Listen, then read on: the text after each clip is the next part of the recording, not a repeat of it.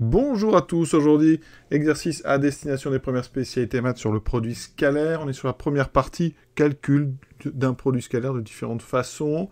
Ici une figure avec deux carrés, O, A, B, C, O, D, E, F. Il faut vraiment voir la figure, donc O, A, B, C, et un plus petit carré de côté 2, O, D, E, F.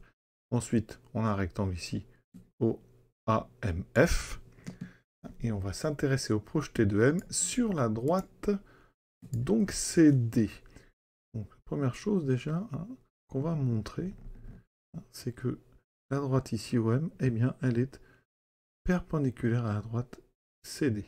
D'accord? Donc on va d'abord montrer qu'il y a un angle droit, comme ça, ça permet de situer correctement le projeté du point qui s'appelle H, et ce projeté sera donc ici, puisque les deux droites sont orthogonales et qu'on projette orthogonalement. Donc première question, comment montrer que la droite OM est perpendiculaire à la droite DC eh bien, petit indice, on va travailler dans un repère qu'on va choisir nous-mêmes.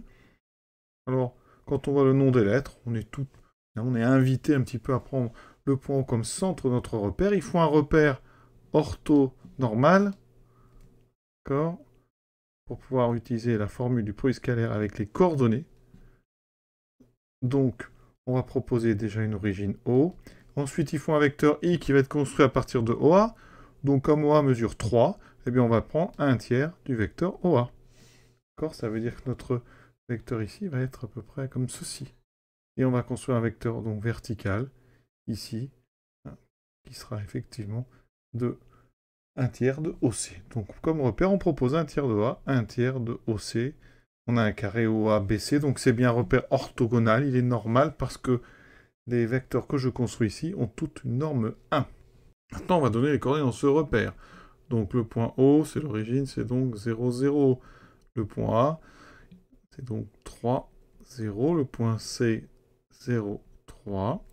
On n'en aura pas besoin, mais le point B, coordonnée 3, 3. Ensuite, on va avoir besoin du point D. Donc, le point D est à gauche, mais OD ne mesure que 2, donc c'est moins 2, 0. Donc ici, il me faut aussi le point M. Donc pour le point M, je me déplace jusqu'à et je descends de deux unités verticales. Donc ça fait du 3 moins 2. Voilà. Donc il me faut le vecteur OM. Donc le vecteur OM a pour coordonnée, donc coordonnée de M moins celle de haut, ce qui me fait 3 moins 2. Je vais faire le produit scalaire avec le vecteur DC, qui est pour coordonnée, donc coordonnée de C moins coordonnée de 2, de D. Donc 0 moins moins 2, ce qui me fait 2. 3 moins 0, ce qui me fait 3. D'accord? On fait le produit scalaire, 3 fois 2, 6, donc x fois x', plus moins 2 fois 3, donc y fois y', ça fait 6 moins 6, ça fait bien 0. Donc, ça veut dire qu'OM et DC sont orthogonaux, leur produit scalaire vaut 0.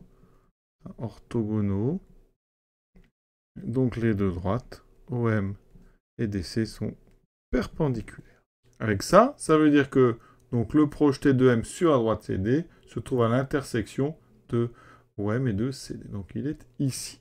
On nous demande donc après de calculer CD scalaire CM. Donc CD, on a déjà calculé DC, donc c'est moins 2, moins 3, c'est l'opposé. CM, coordonnée de M, moins coordonnée de C, donc 3 moins 0, ça fait 3. Moins 2, moins 3, moins 5. On fait le produit scalaire, moins 2 fois 3, moins 6. Moins 3 fois moins 15, ça fait plus 15. 15 moins 6, ça fait 9. On cherche à déterminer donc la longueur CH. On vient de nous faire calculer un produit scalaire, donc CD, CM.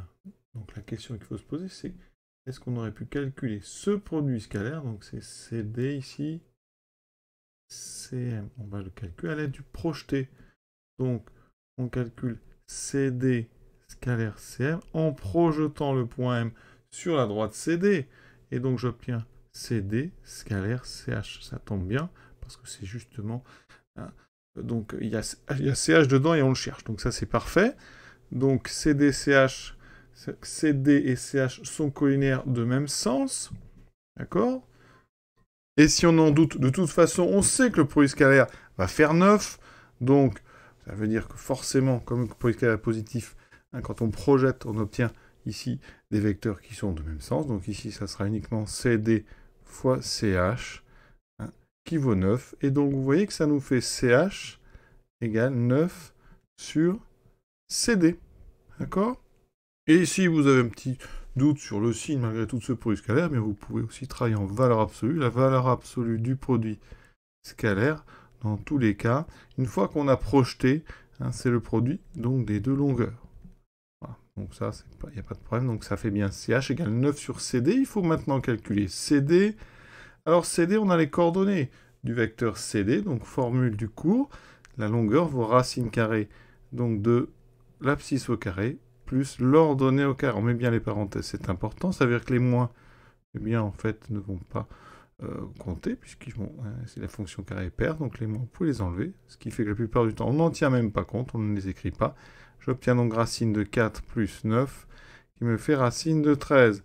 Donc, CH vaut 9 sur racine de 13. On n'aime pas avoir des racines carrées dénominateur, donc je multiplie en haut et en bas par racine de 13. Ça me donne ceci.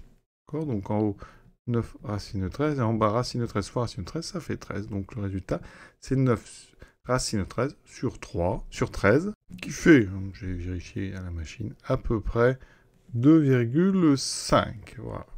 Cet exercice donc est terminé. vous voyez, ce genre d'exercice est très classique, c'est pas difficile. Hein. il faut juste bien comprendre que eh bien, ce qui est intéressant dans le produit scalaire, c'est que les différentes méthodes qui permettent de le calculer, eh bien, ça peut nous permettre de calculer des angles, ou alors ici des positions de projeté. Hein. Et surtout quand on a un repère, hein, c'est très pratique dès qu'on a un repère on peut toujours avoir une première, donc un premier calcul simple de ce produit scalaire. Voilà. Donc à très bientôt.